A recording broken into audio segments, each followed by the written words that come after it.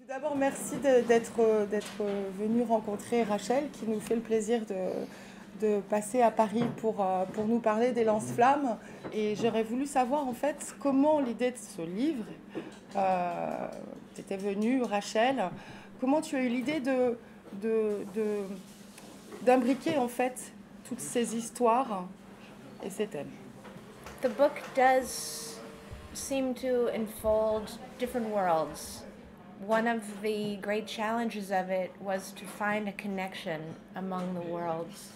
But um, as a reader of novels, um, I'm not so interested when the worlds come together completely like this, and then you have a kind of grand, elegant conspiracy. I don't think that for me, uh, the experience of life works in that manner. But with my own conception of history, I was interested in certain things that took place in the 1970s, in particular, what happened in the art world in New York City. And as I began to think about that time, I have some relationship to it personally. It's something that I know about. It would not require research as I looked into it, I started to think more deeply uh, about that historical moment on a grander scale. In the United States, it is the end of the industrial era. And this uh, was reflected in the materials and lifestyle of artists at that time. And so these things were on my mind. Um, that's how the novel began was as a novel looking into the atmosphere of the 70s in New York City in the art world. As I was writing this New York part, I began to encounter, just in my own intellectual life, uh, a lot of information about the uh, 1970s on the left in Italy. Um, there was a movement there called Autonomia. Some of you may be familiar with it. Sort of like Italy's version of May 68 happened later.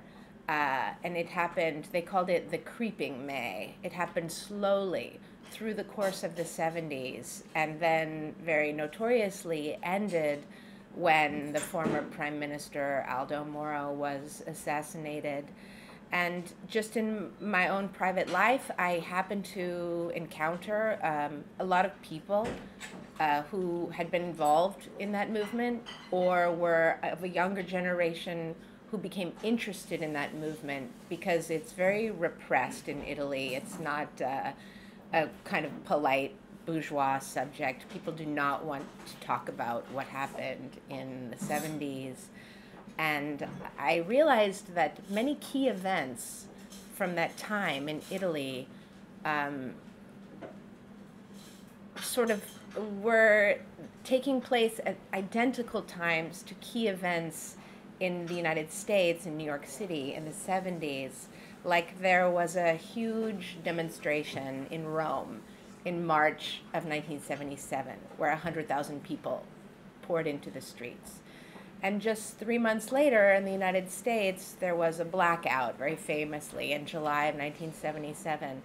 And I decided that in some way these things are connected, but not over connected. And the project of the book was really to write about both. And in order to do so, I had to even pan further back and look at industrial history and these Italian families, and I'm interested in futurism and speed, and I think that all of these things uh, come to bear on the moment when the moment is such a historically critical one, which is the end of industrial culture.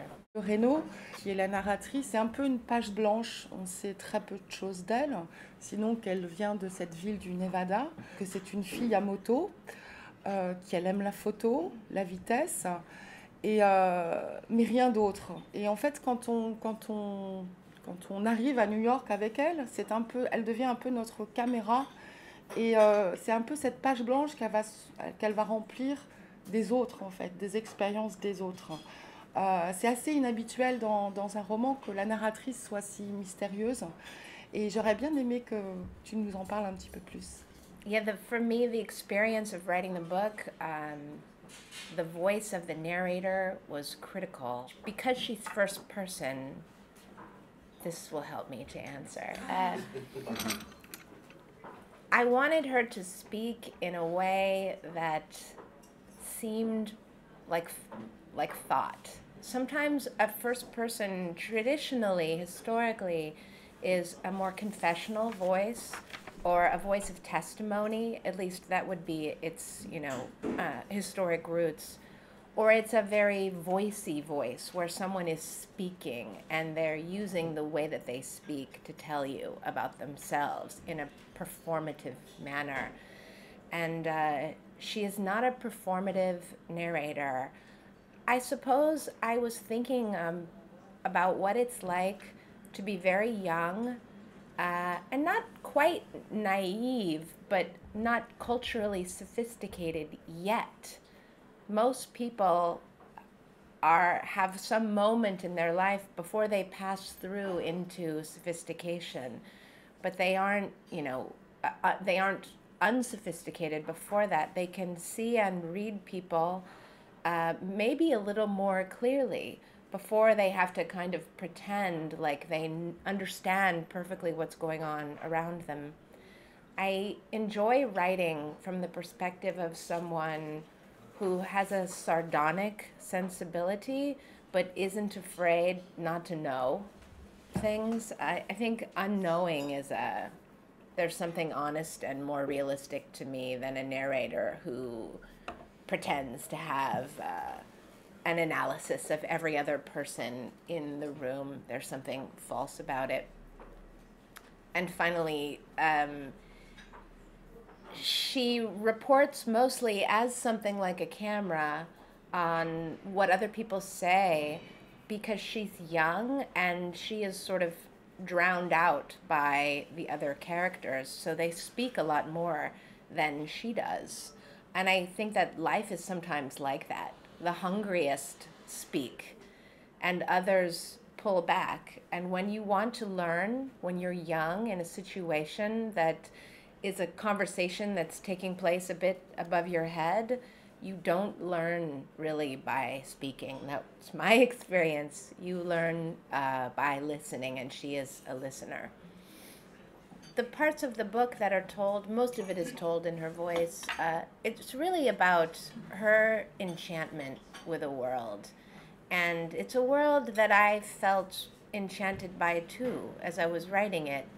Um, of course, it includes some aspects that are more negative and cruel, but I wanted the reader to be immersed in her experience so that hopefully they too could see what she's enchanted by. Probably they can see things that she can't, but I wanted them to be very close to and bound to her perspective, which is why we don't know a lot about her past. Uh, people don't generally psychologize themselves to the degree that they do in books so that you can get a tidy backstory. La question justement de l'identité, c'est un des grands thèmes du livre. Et euh, Reno, c'est un personnage en construction justement. Par contre, tous les autres personnages du livre, presque tous, se réinventent sans cesse. Euh, Valera, quand il rencontre cette bande de motards avant-gardistes, dit lui-même euh, Valera est mort, euh, Sigi quelqu'un d'autre. Euh, son fils se présente comme un artiste new-yorkais avec un accent italien. Ronnie lui change d'histoire selon ses humeurs. C'est à la fois une grande liberté pour un auteur que d'avoir des personnages qui se réinventent comme ça, mais c'est en même temps une gageure de, les faire exister vraiment dans l'émotion et de les faire exister aussi euh, aux autres personnages. If I understand the question, uh, I think that maybe one of the ideas that I circled around as I was writing the book, um, especially when I was writing the dialogue, and I love to write dialogue. Something happens, I don't know, but uh, um, I think I began to suspect that for some people, um, the lies that they tell, the stories that they invent, impressions that they try to create uh, in their performance of self, um, tells you as much about that person as this moment where they try to be perfectly candid and truthful and say something uh, that relates to what they consider to be their own es- essence or essential truth. Um, I'm I'm not quite a cynic, but I'm not sure if I believe in essential character truths that can be possessed by that character. And because I was writing about artists and I've known many artists, I have found that their performance uh, in social situations can be as inspired um, as the work that they do. In the art, the social component of the art world is enormous. It's a huge part of what artists are, and I have known so many who are they can never stop kidding. Um, and inventing, and the idea of a need for a straight set of facts. You know, I immigrated to the United States this year. I am from this kind of family. Um, like basic psychology, a lot of people want to play with that. And I think that in their play, they are telling you something, even if they're not telling you a straight narrative that you can use to analyze them. And many of the people in the book seemed to keep presenting themselves this way to the narrator. And I guess it's perhaps I have encountered people like that and I have found them um, interesting. le rapport que Rénora a à la moto. Comment avez-vous fait pour euh, si bien décrire ça Et même moi qui n'ai jamais fait de moto, j'avais l'impression euh, que j'étais effectivement au volant de cette moto. si vous pouvez développer un peu sur. Euh, est-ce que vous avez fait des recherches Est-ce que vous expérimentez Qu'est-ce que ça représente pour vous cette histoire de moto Par rapport aussi au fait qu'elle est une fille, qu'elle soit une fille. Oh, thank you. That's a great question. Um, yeah, I, uh, gosh, many things I could say. Um, I often choose to write about topics that are familiar to me. Um, you know, the narrator, of course, is not me, it's not about my life. But when I was developing her, um, I came across uh, some images by an artist named Michael Heizer, an earth artist from the 70s, where he had taken a motorcycle and made these huge tracks in the desert. And I thought, oh, my character could do something like that. And then she would be a motorcycle rider, and it was pretty easy for me to describe her relationship to the bike because I spent many years riding and working on them and racing them myself. Uh, in my 20s. Um, I don't ride anymore, but I did for a long time, and I grew up around motorcycles. Um, my father had British motorcycles, and he was always working on them in the garage. And we lived near a racetrack. And uh, I have an older brother who has no interest um, in motorcycles whatsoever. Like he cannot drive a standard shift car. Um, but I was always interested, and not just in speed and motorcycles, but really the entire culture. Um, and even as a little girl, I had so much respect for people who could work on them. Um, and it, when I, after high school, I got a, I started buying, I saved up and bought an Italian motorcycle, a Moto Guzzi. It was my first bike, and I just really immersed myself in the world of um, people who rode and worked on and raced these sort of temperamental Italian motorcycles. So it was nice to be able to use some of that knowledge uh, in the book, although I hadn't planned to put it in. It just seemed to kind of fit. Um, and it fit also when I, I wanted to write about um, some critical historical moments in the 20th century. And I thought the motorcycle would be an interesting way to do that. And when I started thinking about like for instance, the role of motorcycles in war, that seemed incredible to me suddenly. Uh, so I guess that's, yeah, how it came about. Oh, I could just add, like the narrator, I also crashed going uh, oh. like 200 kilometers an hour or something. And I don't think I would have written that if I hadn't have experienced it because it would feel like guesswork. How can you know what that's like. It would be fake, maybe. But um, since I had had that experience, I wanted to try to describe it for someone else because hopefully most of you have not done that. So. Par là même, la, la moto est aussi un lien dans cette notion de la ligne. C'est quelque chose d'essentiel dans votre regard sur l'art, et sur l'art notamment qu'il soit du côté de l'ancien monde comme de nouveau monde, que ce soit dans les années 70 ou dans les années précédentes, notamment en faisant allusion au futurisme. Et il y a cette moto, il y a cette vitesse, mais il y a aussi cette notion de la ligne. Est-ce que vous pouvez nous en parler un petit peu Yes, I think that's absolutely true.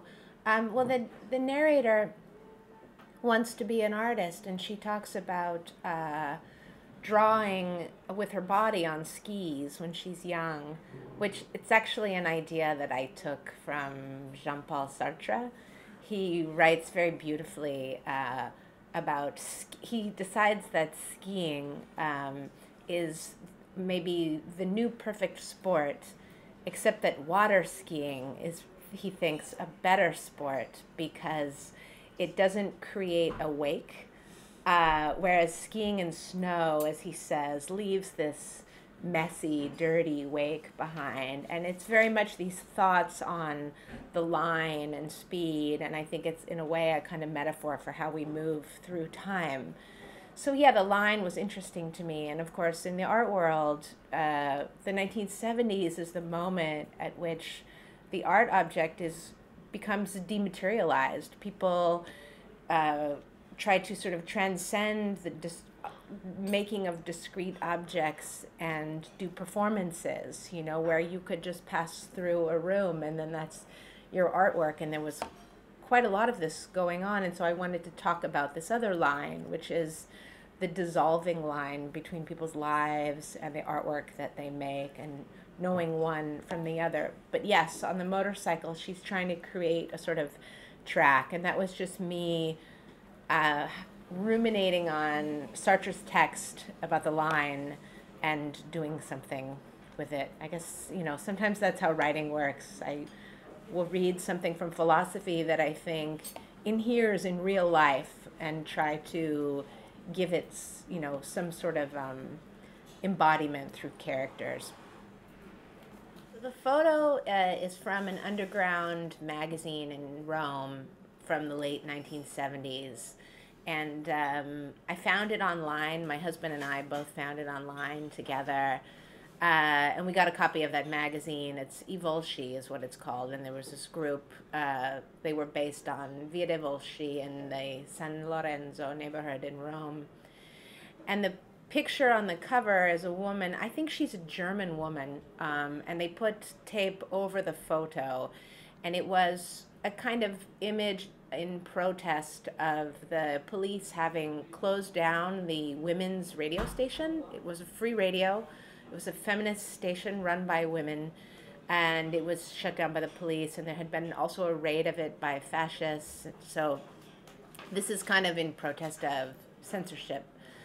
Uh, and um, my husband thought it would make a good cover for the book, and I agreed with him. So we asked the publisher if they could put it on the cover, and there was a lot of no, no, no, you can't have this photo on the cover.